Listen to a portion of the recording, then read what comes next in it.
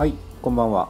さあ今日はねちょっと昨日が辛すぎたのでちょっと休憩ということで、えー、以前から買ってたんですけどね、あのー、登場のタイミング使う食べるタイミングがないなと思ってなかなかやってなかった食べてなかったんですけど、えー、激辛ペヤング焼きそば辛さレベルマックスとは書いてますがこれね実はあの極激辛とかが出る前に辛さレベルがマックスっていうその宣伝をしてたというだけで、まあ、実際は辛くないだろうと、まあ、激辛とは書いてますけど。一応ねこれの後にこのノーマルの焼きそばの、え、ペヤングがあってで次は激辛。で次が、えー、マックスエンドでしたっけ？っていうのが出てそれでもう激辛シリーズは終わりですと。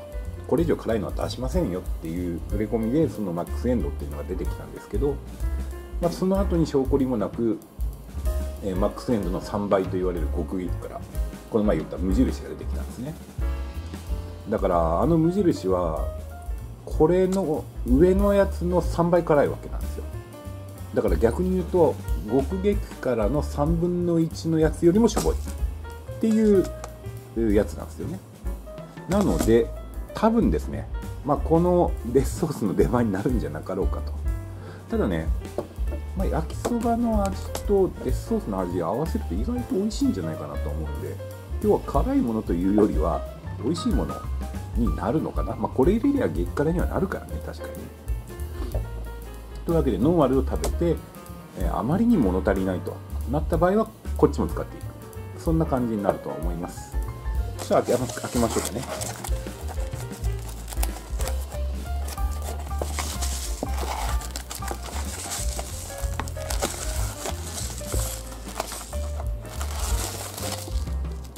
下だけ取る術を。覚えた。どうでもいいんだけど結局上破れてる。はい中身はね多分あの極撃からと一緒と思う。火薬も一緒で多分ソースがね違うんだろうと思います。はいこれ。ああ普通だ。激辛ソース。見て。ななんか怖さがない。普通にのれんにね激辛ソースって書いてあるだけであのやっぱ、うん、極激辛なんかのねあの怖さはないですね。麺はこんな感じ。一緒です。じゃあ、えー、お湯沸かして作っていきます。はい、えー、お湯で3分お湯を入れて3分湯切りまで済ませてきました。えー、あれやらなくなったな。火薬下に入れるの。やっぱめんどくさいのか。入れるときどうしようかなって一瞬考えるんだけどまあ、まあ、いっかめんどくさいやって なっちゃうね。はい、こんな感じですね。まだ熱い湯気がしっかり。だね。ここに、えー、さっきの激辛ソースを入れていきます。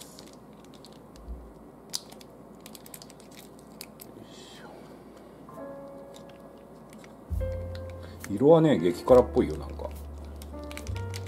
いいねこの、ね透明ソースはね。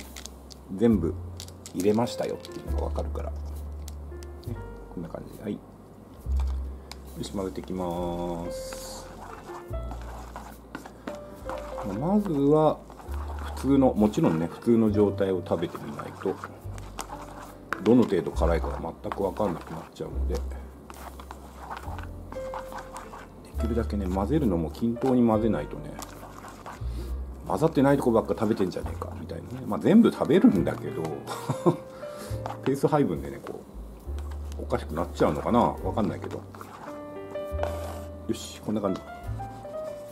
ねまだ熱々ほら。湯気もねしっかり。はいいただきます。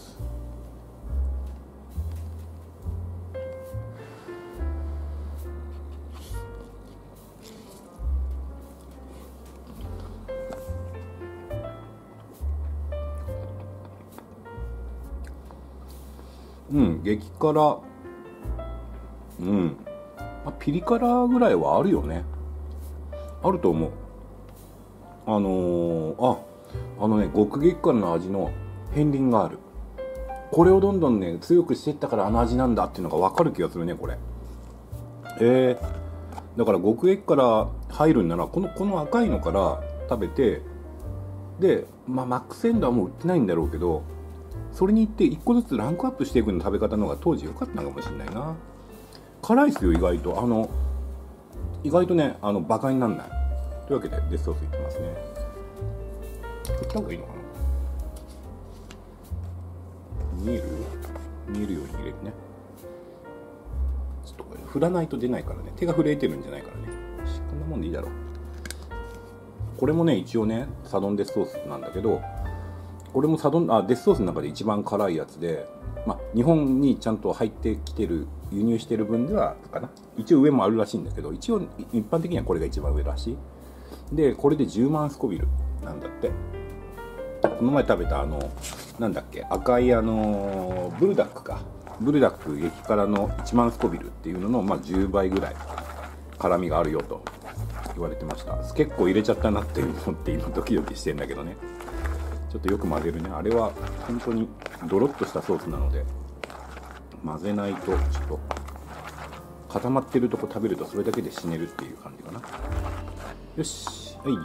引き続きデスソース魔改造バージョンいただきます。ちょっと食べにくいな。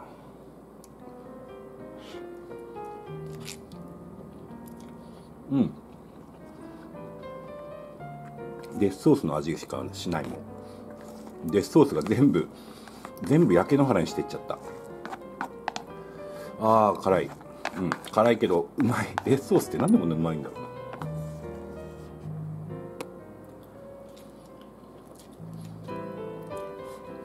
うんうんうん。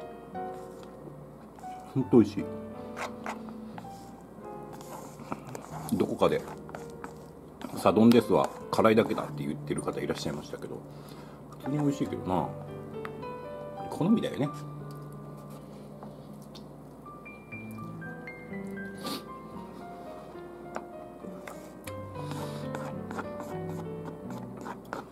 あの極激辛系のね辛さしかないっていう辛さじゃないんだよね。デスソースの辛さって。その辺なのかな？なんか感じ方がね。素材の味をね殺さないんだよねそこまで。辛み的にはもう全部焼け野原にしちゃうんだけど味はしっかりペヤングの味は味わえるからね。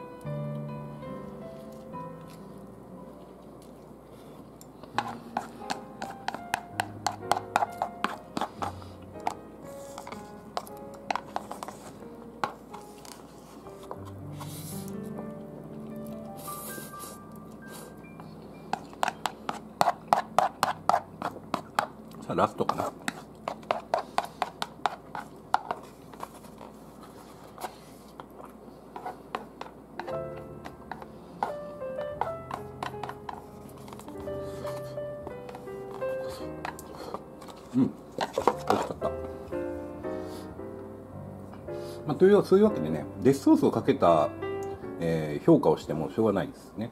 辛くないので自分はデスソースかけて食べたよっていうだけで、ま最初のノーマルの状態で食べた状態で、えー評価するのがベストかなと思います。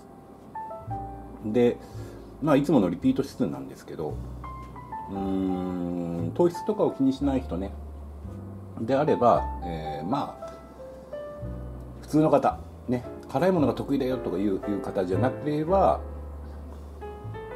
そそこそこ楽しめるかな。でそうじゃない方要は辛いのが得意得意だよっていう方には、まあ、はっきり言って物足りないレベルですのでまあリピート指数的には60かな。で糖質を気にされる方もうこれを糖質される気にされる方で辛いものが好きだっていう方にはまあもうほぼ食べる意味はないのかなと思うのでまあもう指数的には40ぐらいでいいんじゃないかな。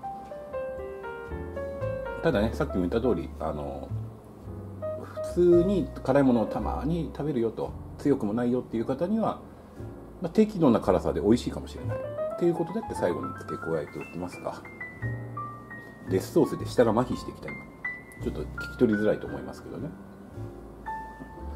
まあそういうわけで、えー、今日は激辛、えー、ペヤングでした、うん、皆さんのね激辛ライフの参考になればと思います。ご視聴ありがとうございました。またね。